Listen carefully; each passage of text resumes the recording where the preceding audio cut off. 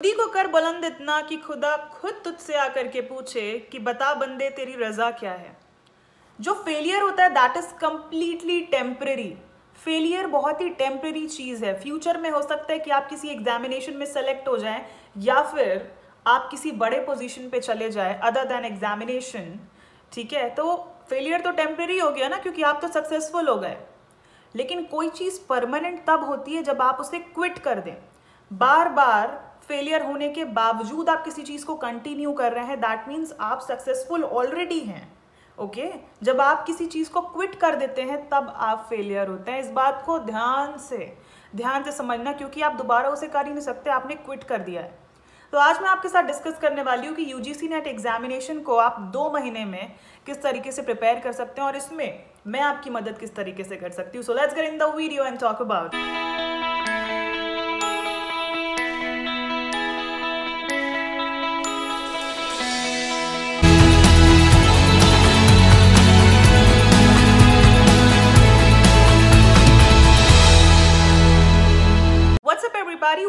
back to my channel basically felicia if you're new to my channel then do like share and subscribe and please press the bell icon so that you'll be notified each and every single time i'll be online okay okay, तो आज मैं आपके साथ discuss करने वाली हूँ कि UGC net की क्या तैयारी हो सकती है दो महीने में पेपर वन पेपर टू इतना सारा चीज़ें क्या तैयारी हो सकती है जवाब है हाँ हिंदी का ऐसे वाला हाँ और इंग्लिश का एच ए ए एन हाँ बिल्कुल तैयारी हो सकती है क्या करना होगा अब आपको स्मार्ट तैयारी करनी होगी। टाइम बहुत कम है, ठीक है? तो सबसे पहले आप ये समझो कि M C Qs is very important ठीक है?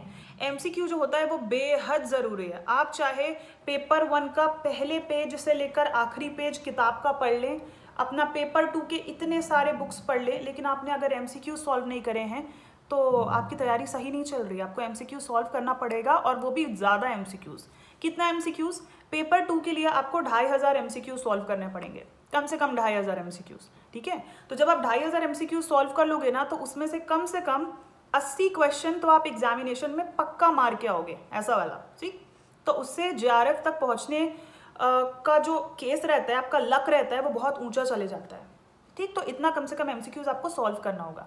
पेपर वन के लिए कितना एमसीक्यूज कम से कम एक हज़ार एमसीक्यूज ये दोनों चीज़ आपको करनी पड़ेगी। अब मेरा क्या है? मेरा सब्जेक्ट है सोशोलॉजी तो मैं आपको सोशोलॉजी का एडवाइस कर सकती हूँ कि आप क्या करिए, मेरा कोड यूज़ करो Sakshi dot Patel one eight one ठीक है? अन अकेडमी में तुरंत आपको एंट्री मिल जाएगी। Free of cost special classes मेरी होती है तीन से चार, एक मार्च से चालू हो जाएगी। उसमें आप ज्वाइन करिए, आराम से पढ़िए। डेली में थर्टी क्वेश्चन कराती हूँ। एग्जामिनेशन तक आपका बहुत सारा कंप्लीट हो जाएगा एमसीक्यूज प्लस मैंने पहले बहुत सारे पार्ट्स में कवर करा करके रखा हुआ है चौबीस पच्चीस पार्ट उसको आप देख लेंगे। आपकी तैयारी बहुत अच्छी हो जाएगी। आंसर्स भी आपको वहीं मिल जाएँगे। तो आप उसको देखो, ठीक है? डेली तीन से चार मार्च एक मार्च से। अब बाकी सब्जेक्ट वाले लोग क्या करें? लोगों ने पॉल साइंस ले रखा है है ना? पूरा दुनिया का हर इंसान सोशोलॉजी थोड़ी पढ़ता है। तो पॉल साइंस हो गया इंग्लिश लिटरेचर हो गया हिंदी हो गया, फिर वेरियस सब्जेक्ट हिस्ट्री वगैरह। आप प्लीज़ अन अकेडमी में सर्च करिए, हर चीज़ अवेलेबल है, हर चीज़। बट आपको कोड यूज़ करना पड़ेगा Sakshi dot Patel one eight one ताकि आप चाहे फ्री क्लासेस पढ़ो, चाहे आप प्लस खरीदो सब्सक्रिप्शन लो, आप, अगर ये कोड यूज़ करोगे तो टेन परसेंट का डिस्काउंट हो जाएगा। तो ये कोड को मैं आप बगल में लिख दूँगी ताकि आपको इतनी सी भी दिक्कत ना हो, ठीक? पेपर वन के लिए आपको एग्जैक्टली exactly क्या करना है? देखो पेपर वन के लिए बुक्स है, आप बुक्स पढ़ सकते हो। पियर्सन बहुत अच्छी बुक है। Arihant is also a very good book तो आप इस बुक को पढ़ो, या फिर आपके पास समय नहीं है कि यार, कि हम बुक वाले लोग नहीं हैं, हमसे बुक पढ़ी नहीं जाती।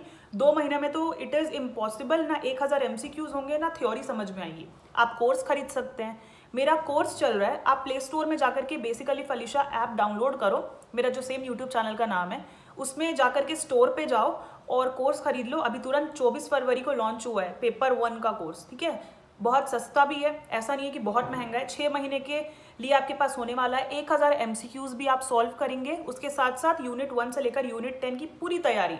मैं आपको कराऊँगी बायलिंगुअल में। बायलिंगुअल समझ रहे हो ना? हिंदी और इंग्लिश दोनों में होने वाला है। तो इससे आपकी सॉलिड तैयारी होगी। आपको और कुछ करने की ज़रूरत नहीं है। ना एम सॉल्व हो गए। नंबर सेकेंड एक सिलेबस को प्रिंट आउट करवा करके रख लो। जैसे कि पेपर टू है, ठीक है? तो उसका दस पेज रहेगा पेपर वन का दस पेज रहेगा, बीस पेज का कम से कम एक फ़ाइल मेंटेन करके रखो और एक एक टॉपिक को दो महीने में डेली जैसे कि एक यूनिट है, उसको दो दिन दो, ज़्यादा नहीं, दो दिन सिर्फ़ आपको देना है, इससे ज़्यादा का मैं आपको एडवाइस नहीं करूँगी कि आपको देना है, ठीक है? और ऐसा करके हर टॉपिक को कम से कम ऊपर ऊपर से गूगल सर्च तो कर ही सकते हो, इतना कर लो, अगर आपको कोर्स नहीं लेना है, आपको वीडियोस नहीं देखना है तो कम से कम इतना काम करो बेसिक स्टडी करो इससे काफ़ी अच्छा होगा। तीसरा चीज़ इज़ मेक रूटीन अगर आपका कोई रूटीन नहीं है, आपको नहीं पता कि सुबह कितने बजे उठा जाता है, रात को कितने बजे सोया जाता है, पढ़ाई कितने घंटे आपको करनी है तो मतलब कि आपकी तैयारी बहुत ही गलत डायरेक्शन में चल रही है। आपको एक रूटीन मेंटेन करना पड़ेगा और मैं आपको एक चीज़ बता रही हूँ। मिनिमम पेन इज़ रिक्वायर्ड दर्द होगा थोड़ा सा। अगर किसी चीज़ में दर्द नहीं हो रहा है दैट मीन्स आप अपने कंफर्ट जोन में हो। आप बहुत ही आराम से चीज़ों को कर रहे हो और उसमें सिर्फ़ इंसान आराम से एक ही चीज़ करता है और वो है सोता है, ठीक? तो आपको यहाँ सोना नहीं है। आपको क्या करना है? थोड़ा सा दर्द झेल करके सुबह जल्दी उठ जाना है, रात को जल्दी सो जाना है और एक रूटीन मेंटेन करके पढ़ना है। आखिरी चीज़ रिवाइज रिवाइज करो, ठीक है? बहुत सारे लोग मुझसे कहते हैं, हमसे याद नहीं होता, हमसे ये नहीं होता, हमारी मेमोरी बहुत कमज़ोर है।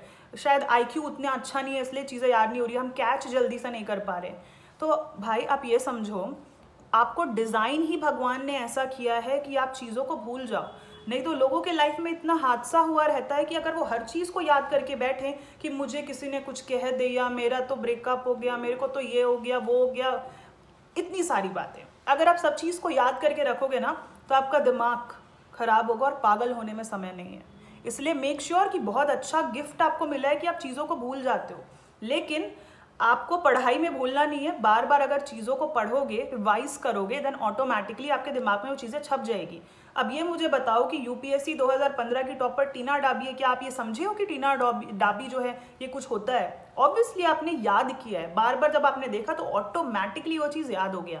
तो बस रिविजन करो बार बार चीज़ों को देखो, चीज़ें याद हो जाएँगी। अगर आपको लगता है कि याद कैसे करते हैं किसी चीज़ को तो कमेंट सेक्शन में बिल्कुल बताएँ। मैं एक सेपरेट वीडियो बना दूँगी बहुत जल्द। प्रॉमिस नहीं कर सकती कि कल बना दूँगी या परसों बना दूँगी। लेकिन हाँ जल्द से जल्द बना दूँगी कि किस तरीके से चीज़ों को रिवाइज किया जाता है इफेक्टिवली ओके एंड आखिरी बात जो मैं आपको बोलना चाहूँगी कि लाइफ इज़ अबाउट प्लानिंग लोग कहते हैं। लेकिन मुझे ऐसा लगता है कि लाइफ इज़ अबाउट प्लानिंग लेकिन successful life is about execution आप कितने भी अच्छे, कितने भी उम्दा कह सकते हैं कि आप प्लानर हो, लेकिन अगर आप एक अच्छे एग्जीक्यूटर नहीं हैं तो आपकी लाइफ सही डायरेक्शन में नहीं चल रही है। इसलिए मेक श्योर sure कि आप प्लानिंग तो करो, लेकिन प्लानिंग के साथ साथ उसे एग्जीक्यूट करना आपकी ज़िम्मेदारी है। और एग्जीक्यूशन में और कोई मदद नहीं कर सकता। एग्जीक्यूशन आपको खुद करना पड़ा, पड़ेगा। थोड़ा सा दर्द होगा थर्टी डेज़ चैलेंज लो, एक शीट में लिख लो, जितना थर्टी डेज़ है वन से लेकर थर्टी तक। डेली करो और टिक करते जाओ। तीस दिन तक अगर चीज़ को कर लोगे देन ऑटोमेटिकली आपको अच्छा फील होगा। यहाँ पर हमें रिज़ल्ट नहीं चाहिए। यहाँ पर हमें चाहिए डिसिप्लिन कितना मेंटेन हो रहा है। ठीक? और साठ दिन बाद तो एग्ज़ाम ही खुद है। तो आप आकर के खुद आपको ये फ़ायदा होगा तो कमेंट सेक्शन में लिख सकते हैं कि थैंक यू सो मच बाकी आपके ऊपर है कि आप कैसे कमेंट्स करते हैं, लेकिन कमेंट ज़रूर करिएगा। मुझे उससे मोटिवेशन मिलता है और लाइक करो शेयर करो यार, ज़्यादा से ज़्यादा लोगों के साथ, ताकि लोगों को फ़ायदा हो। ज्ञान जितना बांटोगे, उतना फैलता है ना? तो please please do this thing okay तो thank you so much do like share and subscribe और जो भी चीज़ है, मैं लिंक डाल दूँगी डिस्क्रिप्शन बॉक्स पर जहाँ से जाकर के आप लोग कोर्स को खरीद सकते हो। अमेजोन से बुक बाय करना है तो उसका भी मैं लिंक डिस्क्रिप्शन बॉक्स में डाल दूँगी। तब तक के लिए thank you so much and see you by the next video bye guys